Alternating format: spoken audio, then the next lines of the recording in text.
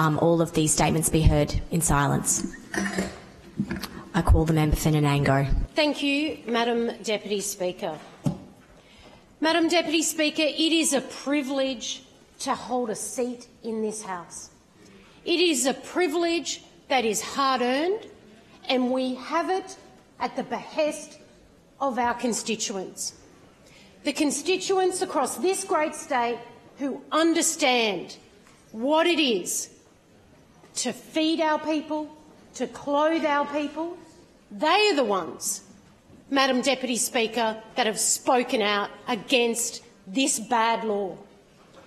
There is no one sadder than me that the great Andrew Cripps hasn't got a seat in this place anymore because the former member for Hinchinbrook worked his guts out for the people of Queensland, along with the LNP, to make common sense vegetation management laws.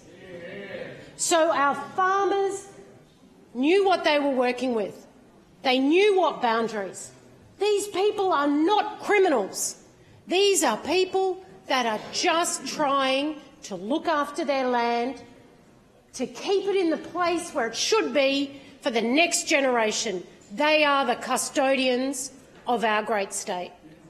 And it annoys me so much that we are back in this chamber defending those common sense laws. Madam Deputy Speaker, today is one of those days in this parliament that exposes the absolute ignorance and the blatant disrespect that those opposite in the Labor Party have for our Queensland landholders and farmers. Labor's proposed vegetation management laws are a brutal and unprovoked attack on the farming families and communities right across Queensland. No other issue, no other issue so starkly demonstrates the difference between them and us. The party I lead the Liberal National Party will always stand shoulder to shoulder with our regional producers, our farmers and our landholders across this state. The LNP will protect farmers' rights to run sustainable, successful businesses and support the families and the next generation. We will always respect and support the industry that is the economic backbone of this great state.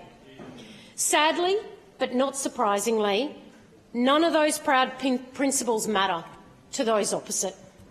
If they did, they wouldn't be reintroducing these draconian native vegetation laws that just make it simply harder for our regional people to get ahead. And it's not the first time. The Labor Party have for decades been trying to turn the screws on this proud profession to satisfy their own green obsession and buy those votes in the southeast corner. We'll make no mistake, behind each and every Labor member in this House is a union master pulling their strings. For decades, for decades, Labor have put themselves, Order. their Order. mates and their union masters before the real people of Queensland, and I acknowledge those sitting in, in the gallery here today. Order. Mr. Madam Deputy Speaker, the LNP is committed to protecting our precious environment. We support laws that properly and fairly regulate the vegetation management practice, practices that farmers must carry out to maintain and boost the productivity of their land. We support laws that protect the streams and rivers of our Great Barrier Reef catchments. But the Labor law, the laws that Labor is proposing are not fair and will hurt farming and grazing families and their communities. They are not fair to the thousands of Queensland farmers who invested in land, livestock, equipment, with the clear expectation of being able to manage their properties, to make the money they need, to pay the bills, the taxes that this Labor government keep putting on them. Labor's laws literally pull the rug from underneath these farming families. These laws lock up nearly a million hectares of agricultural land from routine, routine practices of veg management that keep land in production. They shut down the ability to open up any new agricultural land, killing off thousands of potential jobs and denying billions of dollars in export income for our state. These laws reduce farmers to criminals on their own land by reactivating and giving more power to Labor's dreaded tree police. These laws tie up rural producers in reams of red tape, including costly bureaucratic development application processes that see these landholders charge thousands of dollars just to manage their own thickened vegetation. And, at, and all at a time when Queensland desperately needs to grow this important agricultural sector. We've had years of prolonged drought, loss of unemployment in the regional areas, and how does Labor defend this? With dodgy figures, no consultation, that's how. The very people these laws hit the hardest weren't even given a seat at the table when the laws were written. The bill was introduced with such a short period of time, and I personally, on behalf of the LNP, want to thank each and every 13,000 Queenslander who submitted into the committee. I want to thank each and every Queenslander who stood out here on Speaker's Corner and rallied for their rights.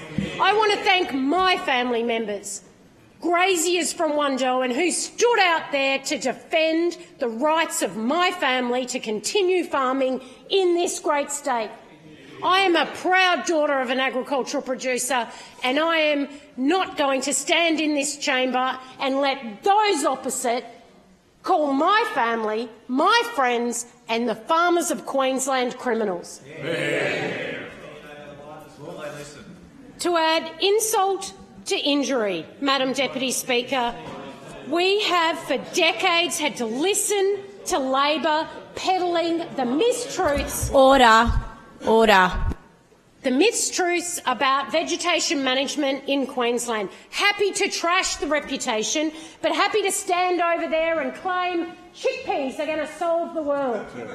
Well, Premier, I have news for her. You need land to grow chickpeas. Yeah. It's funny that. My husband and I have grown chickpeas. We know what it takes to grow a chickpea. And if you're going to stand up and take the credit for Queensland farmers for growing the chickpeas that export to feed thousands of starving people across this world of ours. You need laws that allow the landholder to manage their land. Full stop.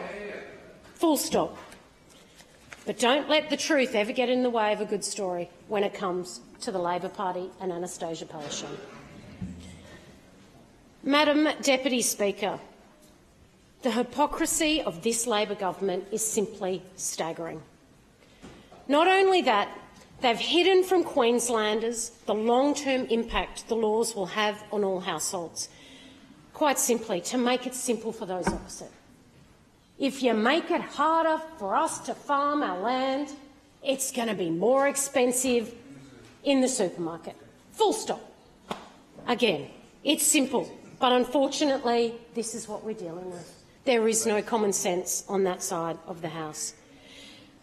Now, Miss, Madam Deputy Speaker, I was proud to be a member of the LNP government that helped restore the balance to the vegetation management laws. In 2013, I stood in this House and I spoke about Mr Alan Crawford, a grazier from Gordon Brook in my electorate. I dealt with Mr uh, Crawford when I was a lawyer in Kingaroy. And he then continued to talk to me after he fell foul of another Labor government's obsession with farmer bashing in the Veg Management Act of 1999. After, res after responsibly managing his vegetation since the 60s, the tree police dragged Mr Crawford to court, prosecuted and fined him. It took a huge toll on his life. He told me at the time, this has taken 10 years off my life. Well, sadly, Mr Crawford passed away two days ago this week, and I would like to send my heartfelt condolences to the family, to Val, their family and friends, for standing up for these draconian laws after they were at the front line. My message, Madam Deputy Speaker, to the rural producers is clear. The Liberal National Party has and will continue to fight for your families. We will fight Labor's law at every turn. These laws are unfair, they are unjust, they are unworkable, and every LNP member in this chamber stands to Madam vote Deputy Speaker. against this The member's time has expired. I